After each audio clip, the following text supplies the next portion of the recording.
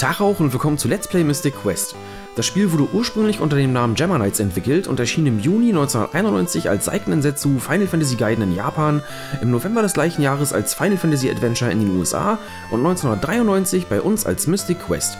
Anhand der Titel sieht man, dass es sich hierbei um einen Spin-off der Final Fantasy Reihe handelt. Genauer gesagt ist es der erste Teil der Seiken Densetsu bzw. Mana-Reihe und hat nichts mit dem Super Nintendo Spiel Mystic Quest Legend zu tun, außer dass es die ersten beiden Final Fantasy Spiele sind, die in Europa veröffentlicht wurden.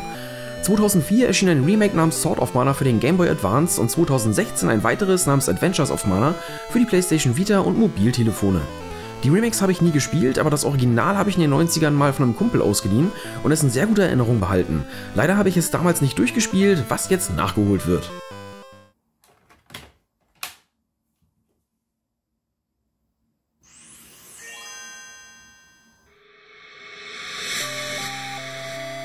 Na dann, zuerst nehme ich noch ein paar Einstellungen hier im Super Game Boy Menü vor. Standardmäßig ist die Farbpalette 1A eingestellt, da bin ich kein großer Freund von, ich mag 4H. Wie ihr sehen könnt, sind das hier so ja, grünliche Beige-Töne. Ich hoffe, euch gefallen die auch. Dann stelle ich noch die Steuerung um auf Typ A. Ich spiele lieber mit der Y- und der B-Taste als mit der B- und der A-Taste. Und dann hätte ich gerne noch einen anderen Rahmen. Der graue Gameboy-Rahmen gefällt mir nicht allzu gut. Ich mag diesen Kinorahmen. Den werdet ihr allerdings nur noch jetzt sehen, denn wie gewohnt zoome ich wesentlich näher an das eigentliche Gameboy-Bild heran und muss man dann für links und rechts was anderes einfallen lassen. Dann starten wir mal ein neues Spiel.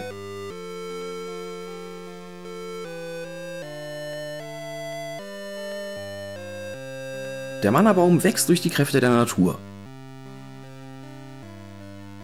Er wächst hoch oben auf dem Berg Illusia. Demjenigen, der ihn berührt, verleiht er überirdische Macht.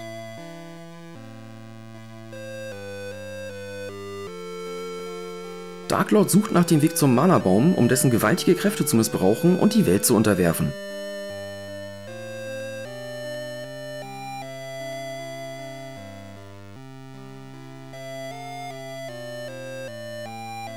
Bevor wir loslegen, müssen wir dem Helden einen Namen geben.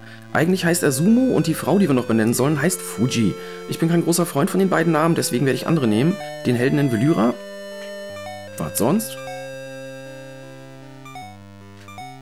Und die Frau nenne ich mal Kara. Mit nur vier Buchstaben hat man auch nicht allzu viele Möglichkeiten.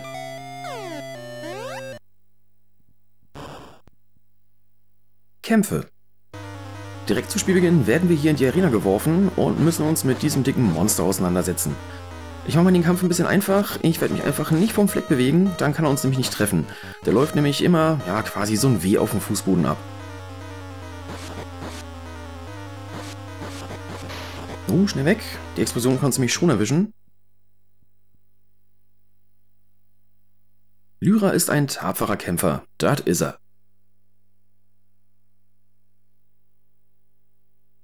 Lyra und viele andere wurden gezwungen, jeden Tag zur Unterhaltung des Darklord zu kämpfen. Viele ließen dabei unnötige Leben.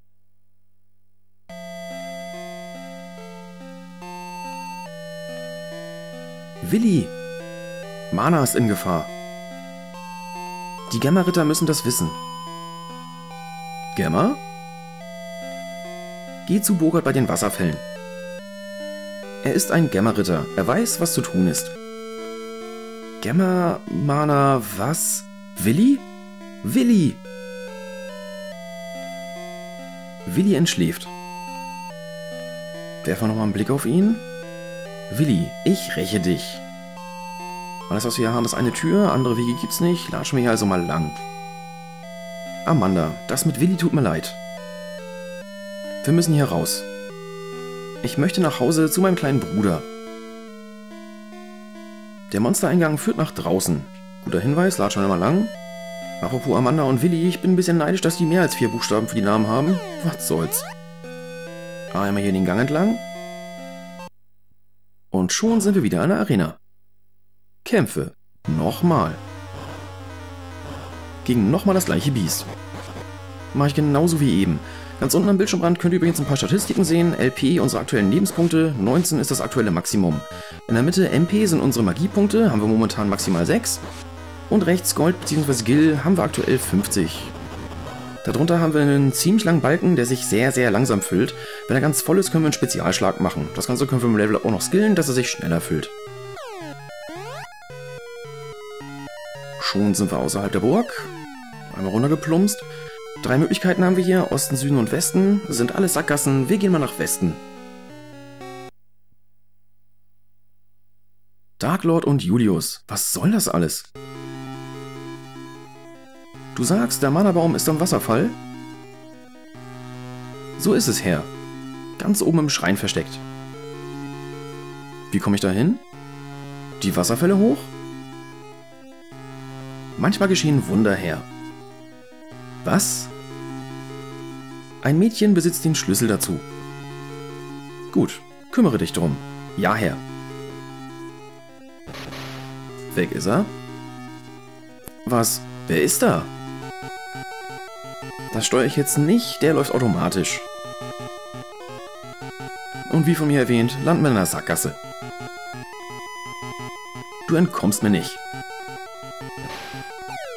Und abwärts.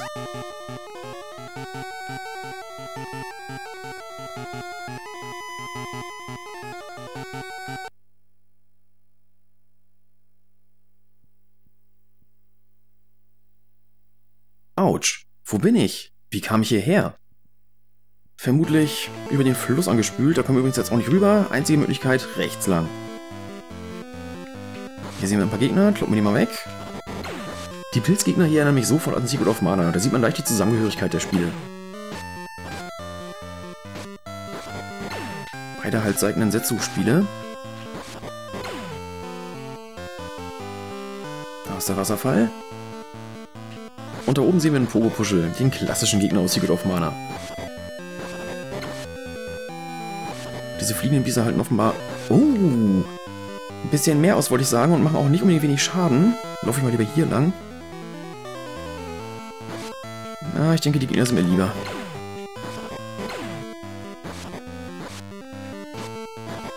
Dunklen Teile hier halten ein bisschen mehr aus, da brauchen wir zwei Schläge. Übrigens, wenn ich stehen bleibe und schlage, holt er richtig aus und wir treffen auch wirklich alles, was das Schwert berührt. Wenn ich in der Bewegung auf die Schlagtaste drücke, sticht er nur zu. Noch zwei Lebenspunkte, okay, aufpassen. Ich will jetzt nicht direkt zu Spielbeginn verrecken, das wäre ein bisschen peinlich und traurig.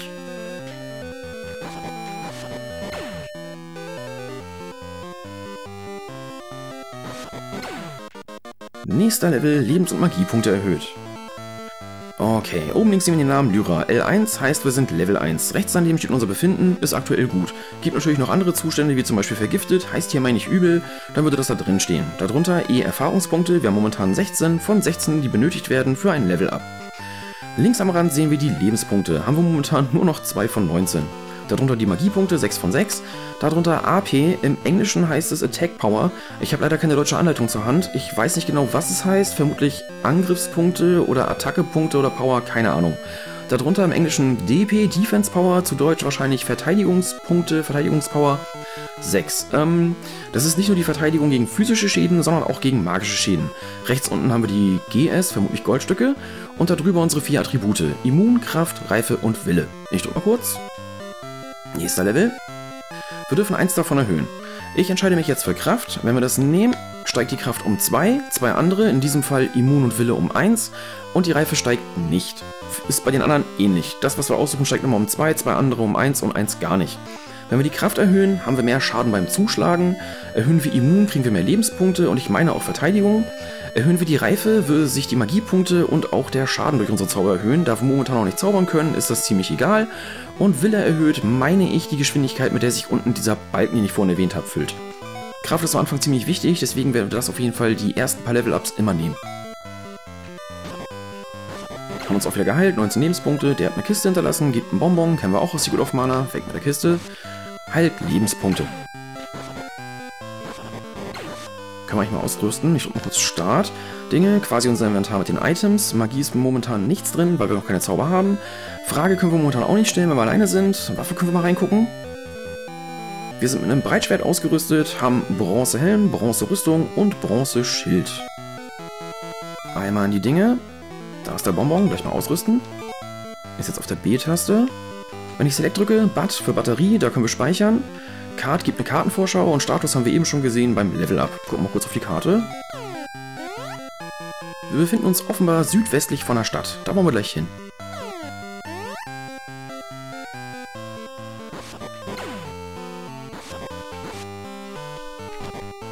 Na. Hat jetzt auch nur zwei Schadenspunkte gegeben. Ich weiß nicht, ob das zufällig ist, dass es weniger ist oder sich die Erhöhung von unserer Verteidigung da schon so gelohnt hat. Hilfe! Hilfe! Zwei Pilze, machen wir mal schnell platt. Haben wir. Mädchen, Hasim ist schwer verletzt. Werfen wir einen Blick auf Hasim. Oh, bitte bring dieses Mädchen nach Wendel. Und suche Bogart. Er wird dir helfen, bitte. Hasim, Hasim. Hasim entschläft. Noch nicht lange im Spiel und schon zwei Tote. Oh nein, Hasim. Lass mich nicht allein. Ich suche auch nach Bogart. Warum kommst du nicht mit mir? Darf ich? Ich kann dich hier nicht allein lassen. Ich bin Lyra. Nenn mich Kara. Dann steuern wir jetzt mit ihr... Uh, hier ist einiges los. Die Stadt an. Reicht für so ein schwarzes Ding auch schon ein Schlag? Nee, war dann jetzt wahrscheinlich auch Zufall? Weiß ich nicht genau. Und da sehen wir den Holzzaun quasi von der Stadt. Hallo, willkommen in Toppel. Gasthaus, wollen wir jetzt gerade mal nicht rein? Geht da mal weg, Mäuschen. Man kann leider nicht durch sie durchlaufen. Wenn man gegen den NSC gegenrennt, bleibt man automatisch stehen und quatscht mit dem. Ist teilweise ein bisschen störend. Ich hörte, dass Dark Lord nach einem Mädchen sucht. Sie soll das Geheimnis des Mana-Baums kennen. Spricht sich ja schnell rum. Der alte Mann bei den Wasserfällen ist mürrisch. Einst war er ein galanter Ritter, aber jetzt... Da ist die Rede von Brugard. Na, genau das meinte ich.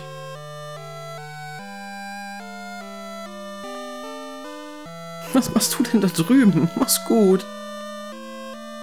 Der ist irgendwie auch ziemlich drollig eingesperrt. Der Waffenladen. Hallo, kann ich dir irgendwie helfen? Was hast du schönes? Breitschwert haben wir schon. Ein Eisenhelm für 140 können wir uns momentan nicht leisten.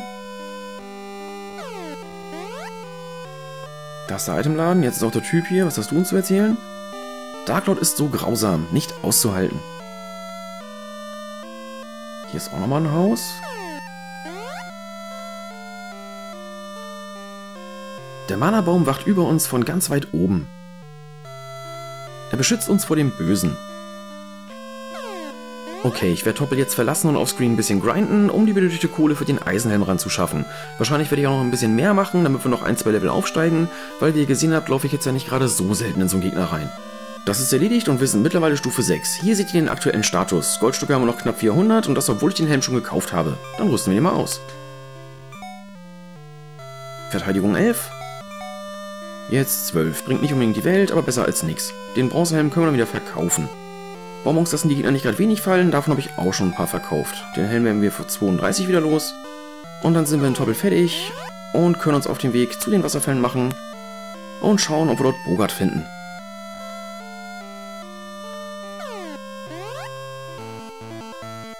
Also erstmal weiter nach Osten. Für die Biester brauchen wir mittlerweile auch nur noch einen Schlag.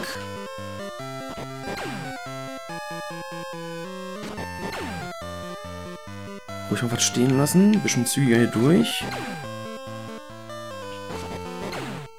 Fällt ja sonst doch ein bisschen auf. Wahrscheinlich nur ein Bonbon. Jo.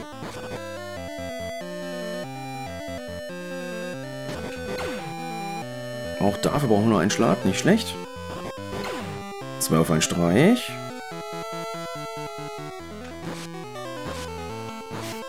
Schön daneben. Na komm, endlich mal ein Pogo-Puschel. Kraxeln wir hier mal hoch. Das Gebiet mal merken, hier schneide ich später wieder hin. Wir haben zwei Möglichkeiten. Wir können rechts und links hoch. Wir gehen erstmal links lang. Weiter nach oben.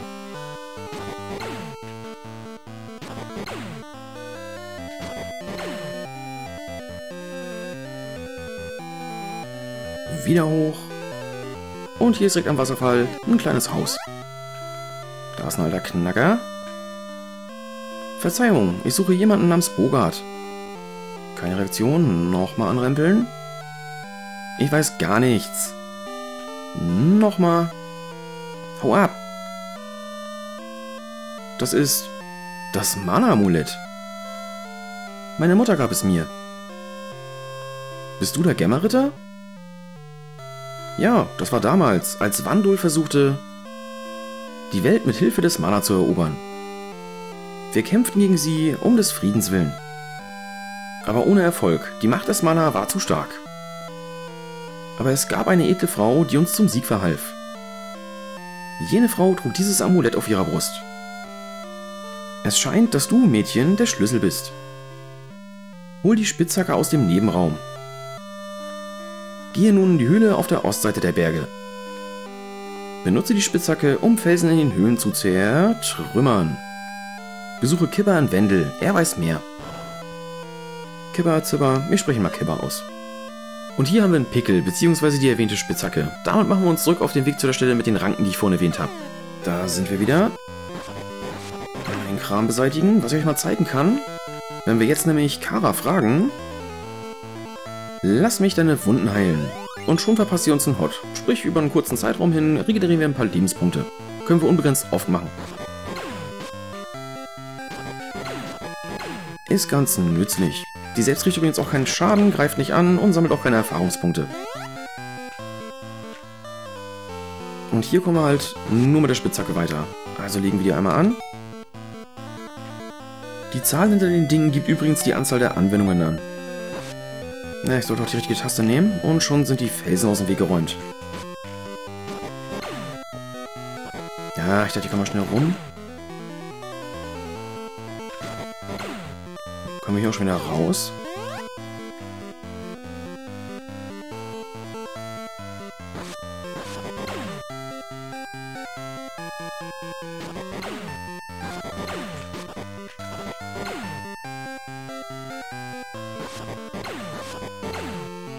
Den Pilz habe ich gerade ein bisschen geschoben. Das geht mit dem Schild vorne. Damit kann man auch einige Geschosse abwehren. Wenn man natürlich nicht gerade schlägt, dann ist der Schild natürlich nicht vor uns. Komm, weg mit dem Bein. Nochmal reingerannt. Apropos reinrennen, hier nochmal rein. Und das ist ein Händler. Einzigartige Axt für nur 150 Goldstücke. Möchtest du sie? Logisch. Wunderbar. Möchtest du irgendwas? Was hat er denn noch? Lebe steht, glaube ich, für Lebensenergie, hat zwei Ladungen, Bonbons haben immer nur eine Ladung. Salve ist gegen Vergiftung bzw. Übelkeit mit drei Ladungen, Auge sind Augentropfen, ebenfalls mit drei Ladungen gegen Blindheit. Schlüssel hat vier Ladungen, davon nehmen wir mal, no, nehmen wir ruhig mal zwei mit. Einmal. Und zweimal. Damit kann man einige Türen aufschließen. Vorsicht, da vorne wird es sumpfig.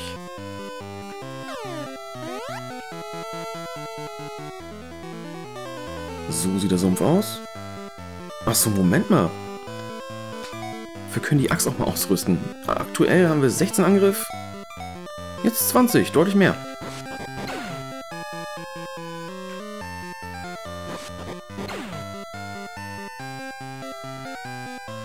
Sackgasse, also weiter nach Süden. Hier sieht man auch mal ein paar neue Gegner. Das Geräusch verrät uns, dass wir den Gegner nicht verletzen können. Zumindest nicht mit der aktuellen Waffe, die wir angelegt haben.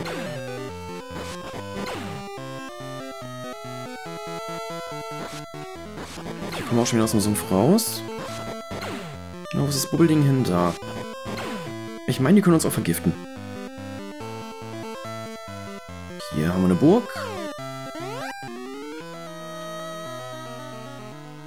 Willkommen bei Cats. Die oberen Räume sind belegt. Das Westzimmer steht zur freien Verfügung. Du kannst nicht durch diese Tür. Sie ist Herrn Lee vorbehalten. Gucken wir hier mal rein. Die sieht aus wie eine Weißmagierin aus Final Fantasy I. Das Nest der großen Eidechsen liegt im Süden. Sie besitzen den Schlüssel zu der Höhle im Sumpf. Der Spiegel zeigt das wahre Gesicht der Menschen.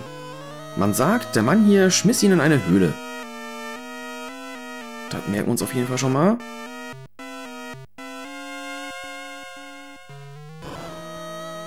Das ist das besagte Westzimmer. Dann ruhen wir uns hier mal aus.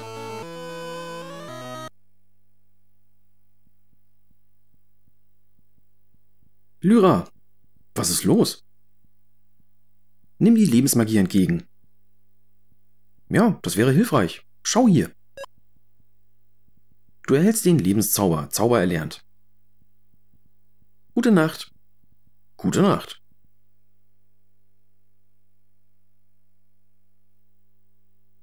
Ah, neues Opfer.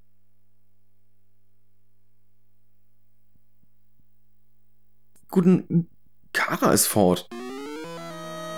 Komisch, dass er nicht wach geworden ist.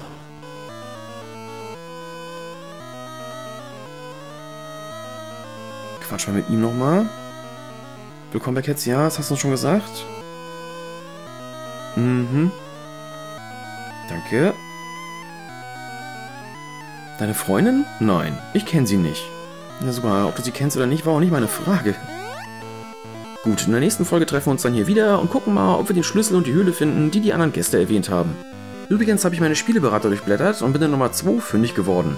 Die Handlung wurde kurz angerissen, ein wenig zu Waffen und Geheimtüren erklärt und vorgegeben, in welcher Reihenfolge man welche Gebiete aufsuchen sollte. Auf den folgenden sechs Seiten sind die Karten einiger Dungeons abgebildet, die man erst in der zweiten Hälfte des Spiels durchläuft. Wer also nicht gespoilert werden möchte, sollte das Video jetzt beenden. Ich danke euch dann schon mal wie immer fürs Zusehen und sag bis neulich.